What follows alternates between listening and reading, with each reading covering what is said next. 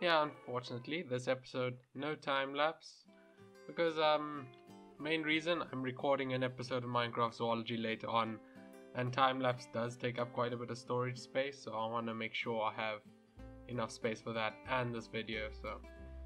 And, yeah, I feel like if I don't have time lapse, I might be able to work a little bit faster, so no time lapse today. Today we're going to do the classical uh, progress updates that I've been doing in a few episodes. So, last episode I have built this entrance area, and today I'm continuing off it, building like adding extra stuff to the area, completing the fencing and whatnot, so it actually it works as a proper zoo.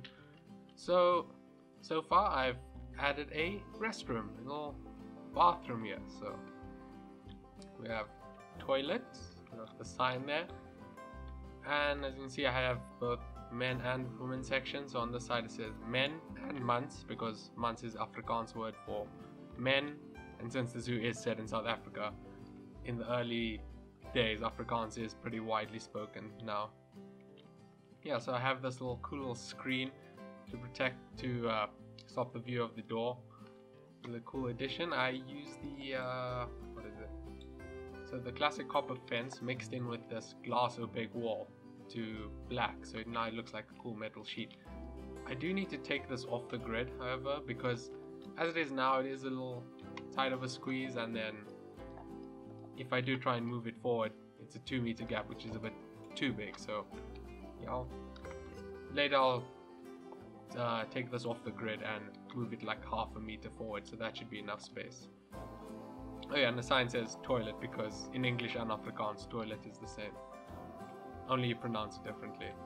And yeah, we have women and we have dames. And well, I guess modern times in Afrikaans you would say vrouwens, but since this is early century and early 20th century, dames is a bit more of a traditional word. It is the Dutch word for women, I believe. So yeah, put that down there. And same thing, gonna move this sheet forward. Another thing with this toilet uh, building is that I have indented the windows. So while normally if you're gonna place windows, there would be you kind of have them this weird sticking out bit. You have this thing here like this. Same thing with the doors. I decided to inset them in the wall, and the, how I did that is that I didn't use actual wall pieces. I use these relief pieces. These are these little grid pieces, yeah, which I've been doing for quite a bit of structure. So you can see the inside of this has all those pieces there. And using that, I was able to create these little gaps I can slide the window and the door into. So yeah, in the I might add an interior. I'm not too sure on it. If I do add an interior, then I'll actually replace these windows with actual windows you can see through. But um, yeah, not, not too sure on the interior because I'm not sure if we're going to look at it or not, but I'll decide later. We'll see how it turns out. So yeah, otherwise bathroom came out quite nicely. And then on this side, yeah, I am on the middle of making a gazebo. And I just wanted to take this time to kind of show you the process of how one makes circular structures in Planet Zoo. So if you already know this, sorry I'm repeating information to you, but in case you don't, then it's a cool trick. So what you want to do, what most people do is take this mud column, since it's an on-grid piece, and then, okay, so you want to try and set up a column like that, and however you want your circular structure, let me see if I can get this right. Yeah, so let's say I want to make this a big old round piece. So what I do is I set up this post here, this is supposed to be like a frame, so kind of on this gazebo, it's one of these frames on the side. What you do is you want to select that, and then duplicate around like that, so you have a line of the this little this long line, and you want to select them, and you kind of want to rotate it. And what I recommend doing is putting on the angle snap, so either 15 degrees, 30 degrees, however how wide you want it. So for I'm just gonna go 15 degrees. And then you want to fill in these gaps with like whatever you want. So let's say I'm just going to put these brick columns in there. And then to make this a circle, okay, this doesn't look that good, but this is a kind of a concept to show you. So what you want to do is delete this line along there, there, and this is one segment of your structure. So just want to grab everything there except the middle piece, rotate it again, and you just want to grab these roof pieces here, and then you rotate it along like that. You just keep on duplicating it, and then you come up with this kind of circular structure. So you just go all the way around. So let me let me finish it off all the way.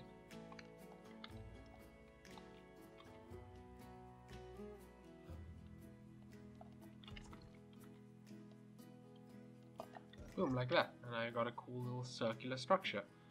So if you ever want to do not want to know how to do the circular structures, now you do, and then obviously change the pattern. So in this case, I've made a gazebo here, and so I'm just gonna give you a little demonstration. So I'm just gonna delete this side here because when I rotate it, this line along here will become that side. I just have it in now so you know how to space the thing. So uses wood planks to act as a roof bit. Delete all the things there. And yeah, even this column posts And then what I'm going to do is select everything except for these middle columns because I don't want them duplicated. Rotate around like that. Do is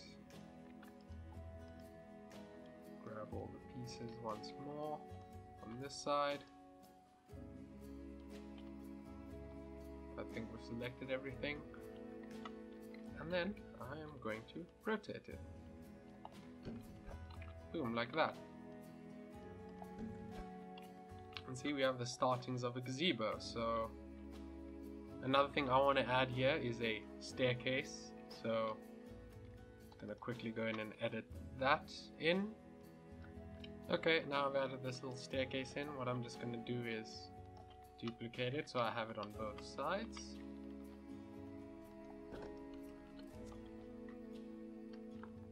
Ah, I'm gonna have to delete this fence posts.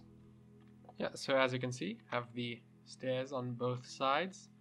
And now what I can do is select everything again, except for the middle bits. I don't want to duplicate.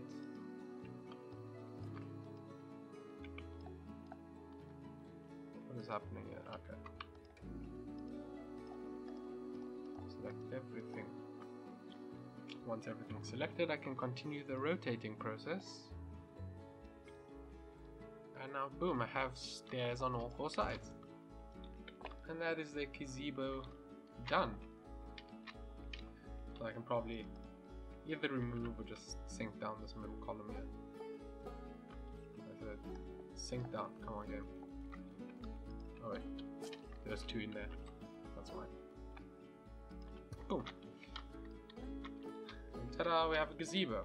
So yeah, that's, that's kind of an advantage of not having a time lapse. I can do some real-time building and show you the process. So yeah, um, I do want to build a Lemur exhibit, I think. Some kind of primate exhibit over here. It will be round, probably use the same technique. And then add some gardening stuff there. So I'm just gonna do that. Build the lemurs, do some gardenings, also work on the fences and the rest of the zoo.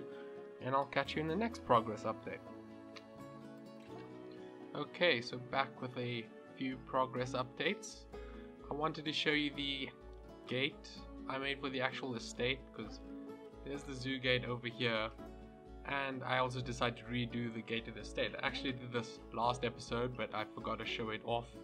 I think I had it in the intro clip but I didn't actually mention it in the video so here it is. Got the original sign still there and redid the gate because it doesn't make sense that the estate would do up this fancy entrance for the zoo and then leave the the gate is just like a small chain link fence so did it up all nicely and as you can see here I have added another building to the side so this is supposed to be a a staff room So the staff working in the ticket booth and any zookeepers and that, they can just come.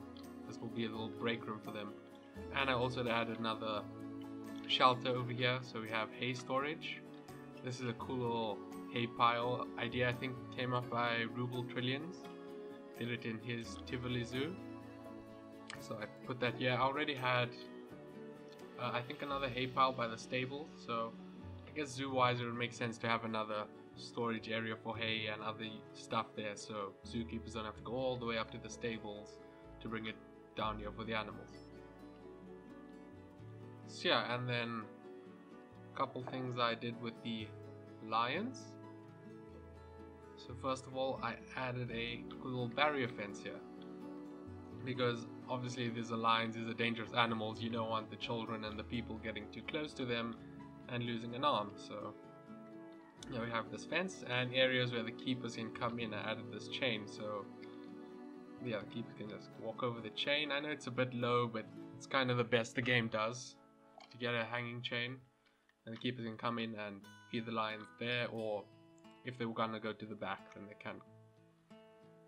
Yeah, so this fence doesn't entirely match the exhibit, which is fine because that's what it is. It was an addition after the exhibit was made because when it was initially made it was for private menagerie so I guess they didn't have public safety in mind because it, the public wasn't going to come and see it so you didn't need this fence whereas now since it's open to the public you're going to need a fence to stop people from getting too close to the lines and I've added a fence to the entire perimeter on that side. So that's just to stop people from walking on the grass into the zoo. And since there's a fence over here stopping people from getting to the estate I decided not to put a fence here. I don't know it didn't look so well. Like I said again all these fences and stuff as the zoo progresses and changes they will take more land in there and eventually we will build like proper walls up but for now the fencing is kind of temporary to allow for further expansion it's just there to stop people from trespassing into the the area so yeah, I assume yeah, people will just have common sense, be like, okay, there's tall grass, let's not walk in that direction. There's clearly nothing there. Yeah. And well, I put some benches down on here by the lion enclosure. So just another trick in case you don't know how you can put benches down without having a path is what I do is you put the path down first. So what I'm gonna do is I'm select select the grid so the paths are nice and square like that then I can grab one of these benches and it's all aligned up nicely there and then delete the paths and the benches stay so yeah, that's a neat trick if you didn't know that now you do so if you like me and don't really care about paths just care about decorating stuff then you can just put down benches like so and it works for picnic tables and bins as well. So yeah, the benches I put a few here but I don't imagine they would be used that much simply because there's not a there's not any shade here. We wouldn't want to sit here in the sun. And I did put some benches down in some other shaded spots like over here underneath these trees and here there's some trees shading it. And this area also receives a bit of shade so I put some benches down there.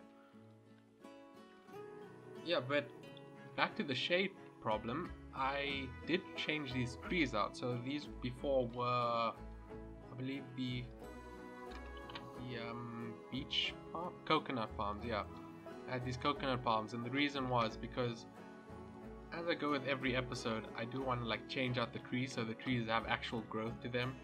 So my initial idea was I have coconut palms starting like that.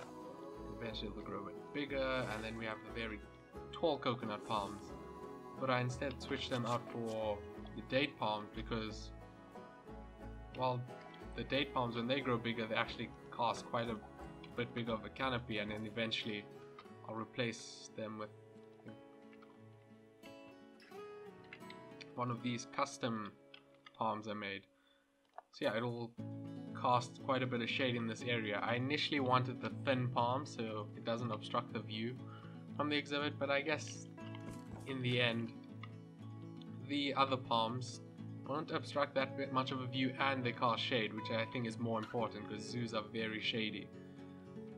Sh shady as in lots of shade, not shady as in sketchy. You, you know what I mean. You know what I mean. So yeah, I'm also in this area. I'll probably take some plant some saplings, and then as the episodes progress, as years progress, the trees will grow up to be bigger. So maybe three, four episodes down the line, these palm trees may just be grown up. I'll probably add some trees in this field over here and still need to work on the exhibit as well as the planting over here and there'll definitely be some trees in that area.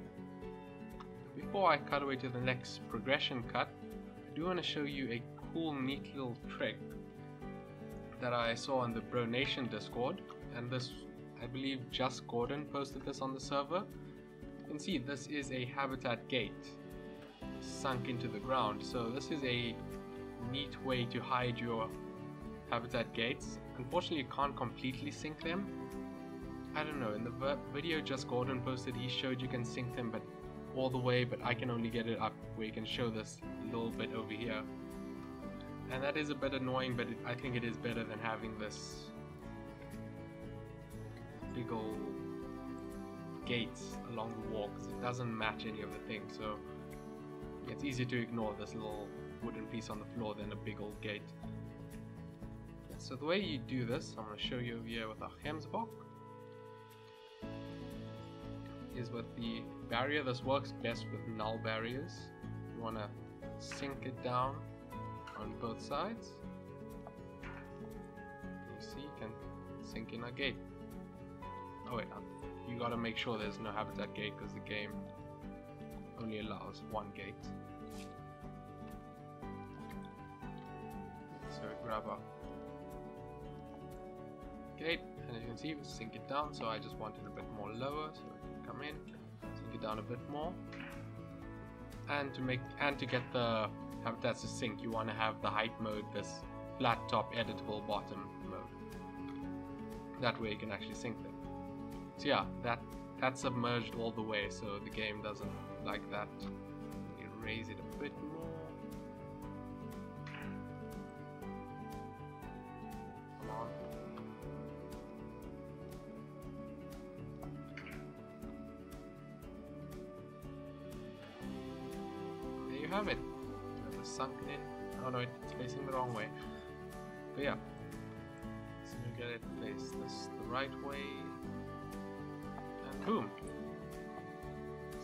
Habitat gate. And the reason why I say you want null barriers is because if you have any other type of barrier, let me replace this with say concrete,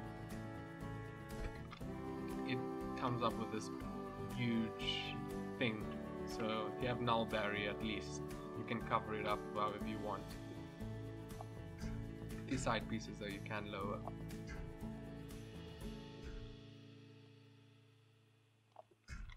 Hmm, bada bing, bada boom. And you, if you want, you can connect, uh, what are they called, the animal trade centers to them, and keepers do actually come here and throw the animals in the exhibit. So the habitat gate is still functioning. I have done this before, and there are some problems. Sometimes the animals get boxed up in the in the ground, which means the, ga the game just struggles with it a lot, and eventually the game does give up and throw the box on the side. So then you can just unbox it and place it wherever you want. So boxing can be a bit of an issue, but if you're using an animal that doesn't get boxed a lot, so like these Gemsbok, there's no way that where they would get boxed in this exhibit, so it's fine. But like I guess climbing animals like your primates or your big cats, maybe you don't want to do it because the boxing can be an issue. But anyway, yeah, that's a cool little tip that you can use in your zoos maybe and it's probably less known about. So yeah, I'm gonna carry on, finish the garden area in this place as well as the final exhibit. And we should be should have just one more progress update for the video. See you in a bit. Okay, final progress update. I figured we start here by the entrance. You can see some of the stuff I built there in the background.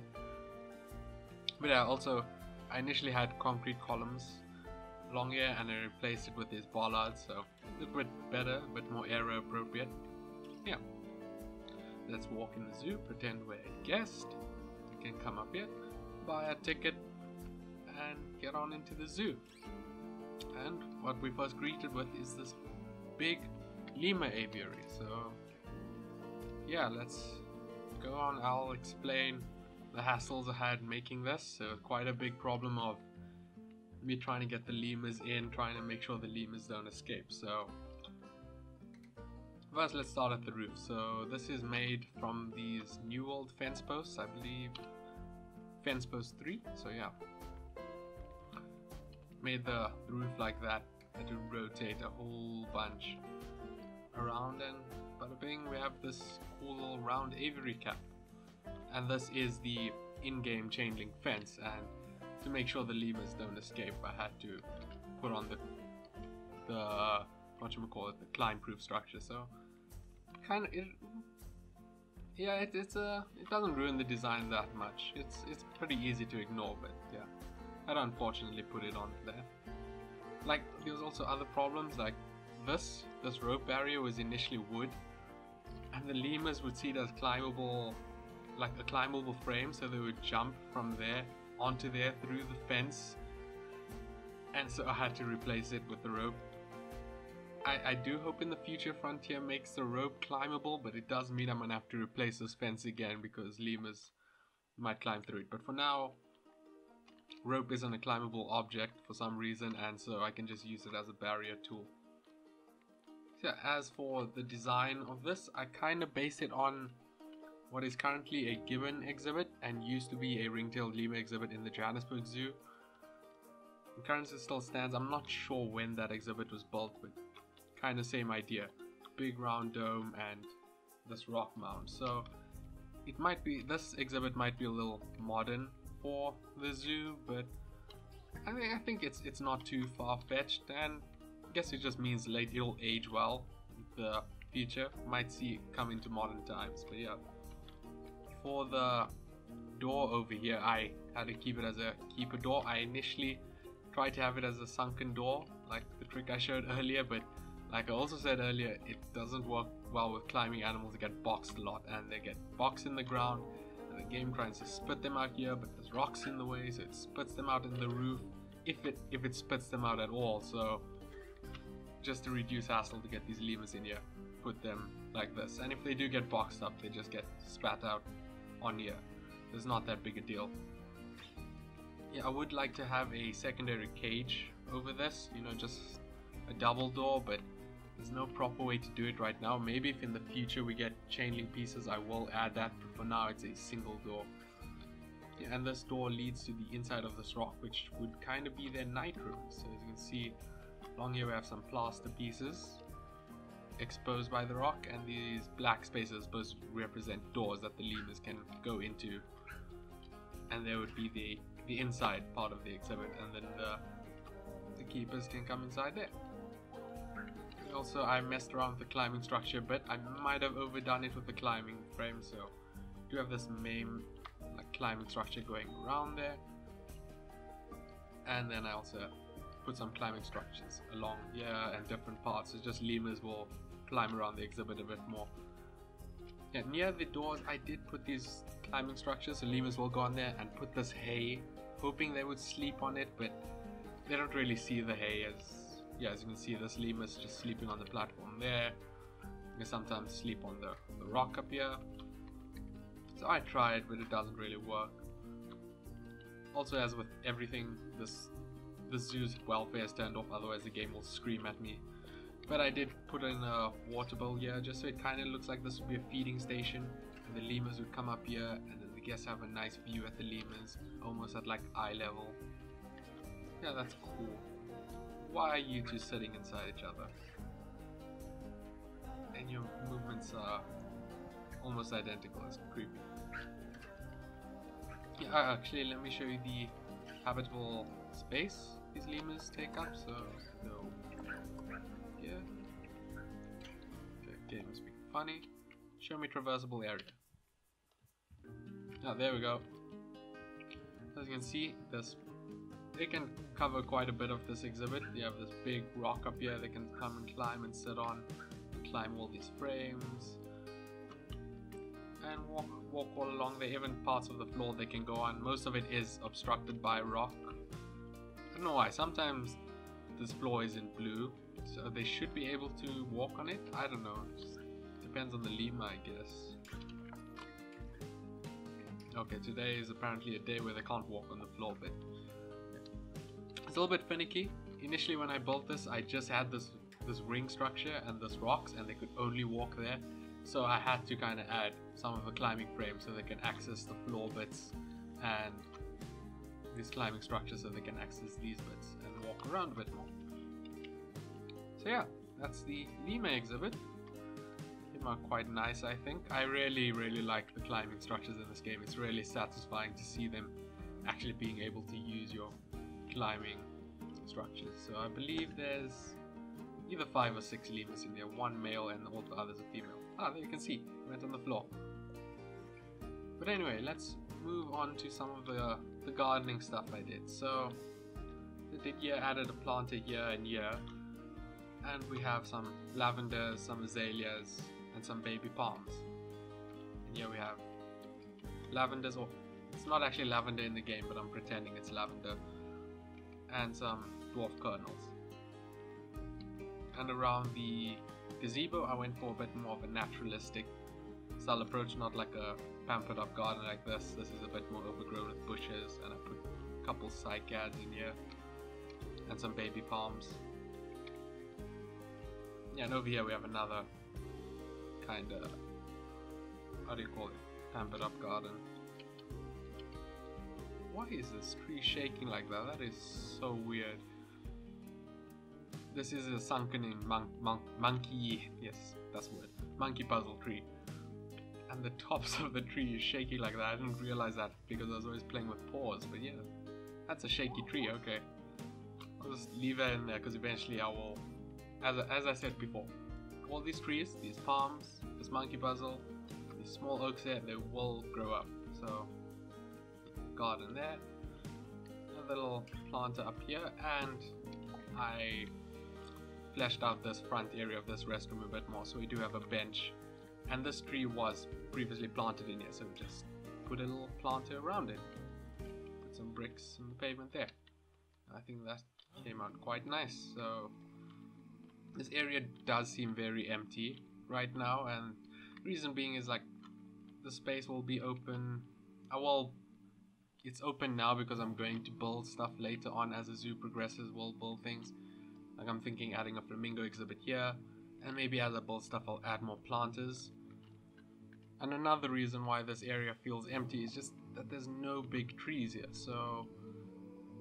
And yeah, like I said, I don't want to cheat, I want trees to actually grow and progress, so I've placed a whole bunch of saplings. So we have these ones here in these cages, and I want to say maybe the zoo ran out of tree cages, so started using staves and like rope to tie around the tree just to keep them upright.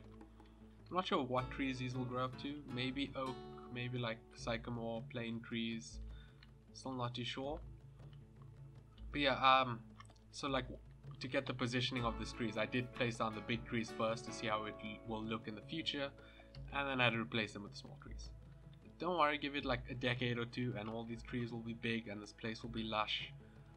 Because modern zoos, you you see them you see them as big lush having big tall trees. And the reason was because they were planted long ago and that's what I'm doing now. Planting all these trees. This old times and then as the zoo ages you'll have big lush trees. And even even just without the trees this this area is very open in the back. If I had like a wall it probably will seem a bit more completed or just buildings here the area will seem a bit more rounded off. So as I progress with the zoo, we'll add more. We'll eventually add a wall and we'll add more buildings and exhibits to that. So yeah. I think I added some saplings over here as well. So I added a bench under this little sapling. So you see this area. Also small trees but just I think the wall really caps off the area as well a little bit better and the trees in the back uh, that was already planted in the state does kind of help it, so yeah. But anyway, I think that is all I got to show for this episode. Oh, these palm trees aren't supposed to be here. You aren't supposed to be here. Okay. I forgot to delete those. I'll I'll delete them now. No. But yeah, they, they were supposed to be small palm trees. That's how I tested. Place big palm, big trees, and then replace them with the small trees. Oops. But anyway, thanks for watching. I hope you enjoyed, and I'll hopefully see you in the next episode. Bye.